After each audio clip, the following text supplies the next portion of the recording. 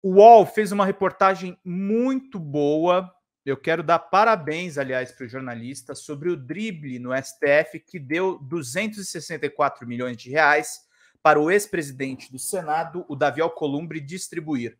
É uma reportagem do Eduardo Militão, do Igor Melo e do Rubem Berta. É um repórter lá do Rio de Janeiro muito competente que trabalhou no Globo e no Intercept. Mas vamos acompanhar aqui para todo mundo ficar muito, muito bem informado. Vamos lá. Davi Alcolumbre do União Brasil foi o maior beneficiado de uma manobra que distribuiu um bilhão de reais do caixa do governo Bolsonaro para redutos eleitorais do Centrão. O senador é o parlamentar que mais indicou verbas para obras de infraestrutura bancadas pelo Ministério da Defesa, segundo o levantamento com base em uma tabela da pasta ao qual o UOL teve acesso via Lei de Acesso à Informação. Foram 264 milhões de reais em seu nome, que é 26% do total. A lista inclui outros 23 senadores e deputados do Centrão, totalizando 1,031 bilhão de reais. A manobra foi gestada do núcleo duro do governo em 2021 e driblou uma decisão do STF, que barrou o orçamento secreto, do qual Alcolumbre era um dos seus principais articuladores. Para não interromper o fluxo de verbas a aliados, o governo usou recursos do caixa do Ministério da Defesa de lá, o dinheiro foi direcionado a municípios por meio de indicações de deputados e senadores do Centrão. A, negocia a negociação relativa a essas indicações se deu sem transparência. Alcolumbre afirmou ao UOL em nota que desconhece qualquer sistema paralelo de distribuição de recursos no âmbito do Ministério da Defesa e que apoia os investimentos da pasta seguindo os critérios legais e transparentes. A maioria dos parlamentares admitiu a, a indicação de verbas para obras em seus redutos, sem detalhar como isso se deu.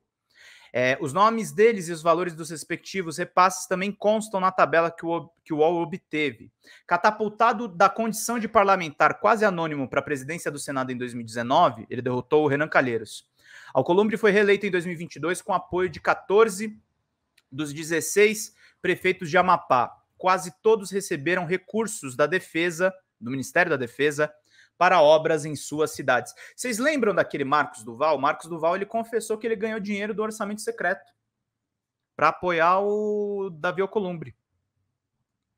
Tá, é uma, é uma manchete do Estadão. É esse cara que, que impulsionou também. Se o Lira é o pai do orçamento secreto, o, o Alcolumbre é, um, é, um, é, é uma mãe ou outro pai, né? Em, de, em 16 de dezembro, a Prefeitura de Santana, no Amapá, pediu à pasta 20 milhões de reais para a construção de uma passarela de concreto. Portaria do Ministério da Defesa de 2019 estabelece o teto de 7,5 milhões por obra. O que passasse disso teria que ser avaliado pela pasta. Bastaram um orçamento de uma página e um relatório com meia dúzia de fotos assinados por uma arquiteta com menos de um ano de profissão para que o dinheiro fosse reservado em apenas duas semanas depois, em 31 de dezembro. O segredo é, o, o segredo para obter essa análise a jato, o padrinho da obra foi Davi Alcolumbre. Em nota ao UOL, o senador nega que tenha direcionado recursos às obras dos seus redutos eleitorais, mas em visita aos locais e, e, nas redes sociais ele fez questão de deixar claro quem foi que apadrinhou. Um exemplo é a construção de passarelas no distrito de Bailique, no, em Macapá, que recebeu 3 milhões via defesa. O nome senador Davi aparece na descrição secundária do convênio no site do governo federal, onde consta a obra. Assim que o Ministério liberou a primeira parcela da verba destinada à obra de 600 mil reais em julho, Alcolumbre anunciou isso nas suas redes sociais. Olha lá. Prefeitura de Macapá. É, o senador também propagandeou na, nas redes pagamentos de parcelas das obras de uma praça e de um complexo esportivo na capital do Amapá e mandou um representante de seu partido, União Brasil, para a cerimônia de, de assinatura do início das obras. A estratégia era marcar terreno, mostrando ser o responsável pelo envio dos recursos à cidade, mesmo em território da oposição. Das dez prefeituras que mais receberam verbas para as obras de defesa, cinco delas estão no Amapá. Uma delas é Pedra Branca, no Amapari, que ficou com 31,5 milhões de reais. Na campanha do ano passado, a prefeita Beth Pilais, do União Brasil, gravou um vídeo em apoio do senador. Eu vi, eu vivi, eu sou Davi, disse ela na ocasião. Obras de pavimentação de uma mesma estrada em Taubal, cidade com pouco mais de 5 mil habitantes a 100 quilômetros de Macapá, foram contempladas com três convênios apadrinhados por Alcolumbre. Conhecida como Ramal do Hilário, a, a estrada tem cerca de 20 quilômetros de extensão. O UOL visitou o lugar no mês passado e encontrou máquinas paradas por falta de combustível.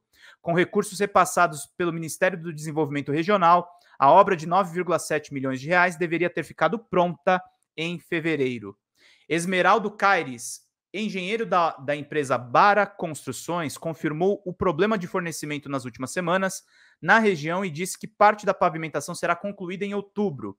Faltará a conclusão das obras dos outros dois convênios ainda não licitados, um deles do Ministério da Defesa, com recursos indicados por Alcolumbre. No ano passado, o senador Davi esteve aqui anunciando a obra e pedindo votos, mas depois da campanha todos somem. Ninguém fiscaliza e a gente nem sabe para onde vai todo esse dinheiro. Judite Tavares, de 63 anos, agricultora, moradora de Taubal. 175 cidades são beneficiadas por repasses da defesa indicados por políticos. O envio de verbas do Caixa do Ministério da Defesa foi essencial para Alcolumbre consolidar o seu domínio na política do Amapá. O poder de Alcolumbre sobre esses recursos está ligado ao fato dele ter sido articulador do orçamento secreto no Senado e um dos principais interlocutores no, no, Congresso durante a gestão Bolsonaro, garantindo apoio político ao governo. O senador articulou, articulou a eleição de Rodrigo Pacheco. Aliás, desculpa, correção aqui só ao que eu falei agora há pouco. O Marcos Duval ele, ele disse que recebeu o orçamento secreto para apoiar o Pacheco na presidência do Senado. Feita essa correção só, ele não era o cara do Alcolumbre.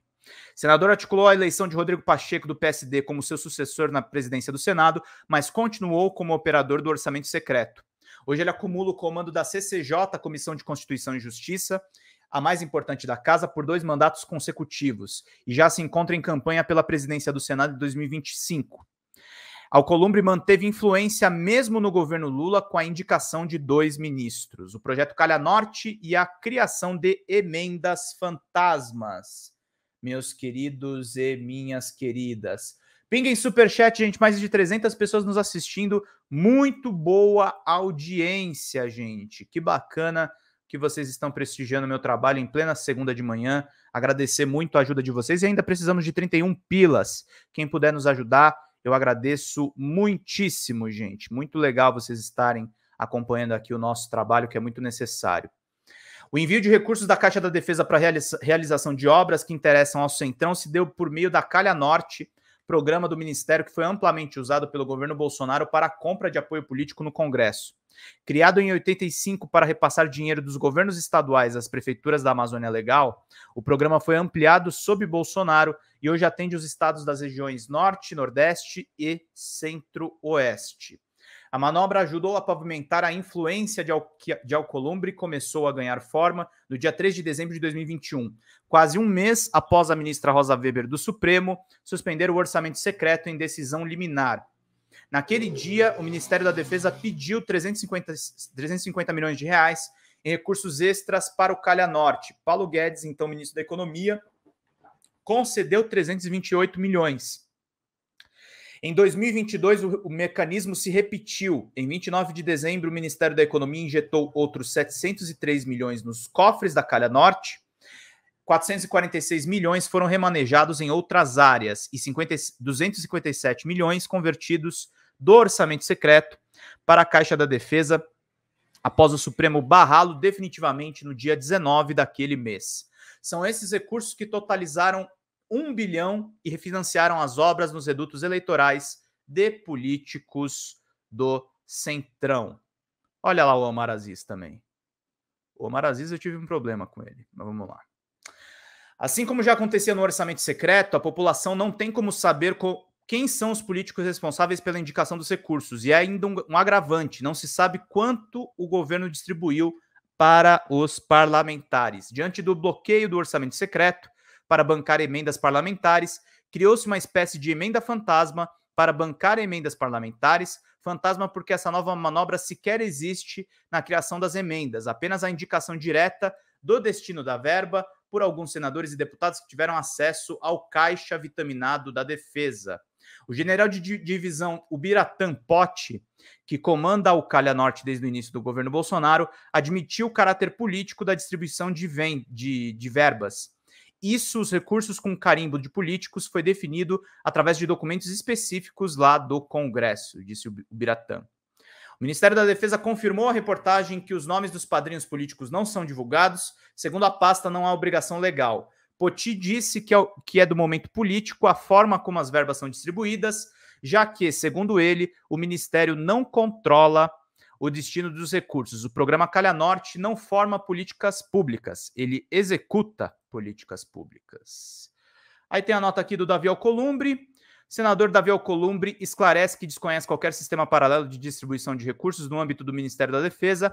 Ressalta ainda que os recursos investidos pelo Ministério em obras e projetos desenvolvidos tanto nos municípios quanto no governo do estado do Amapá sempre contaram com legítimo apoio na qualidade de senador, seguindo critérios legais e transparentes estabelecidos pelas normas que tratam dessa matéria, com execução disponibilizada no portal Transfere.gov, ferramenta integrada e centralizada com dados abertos destinada à informatização e à operacionalização das transferências de recursos oriundos do orçamento fiscal e da Seguridade Social da União.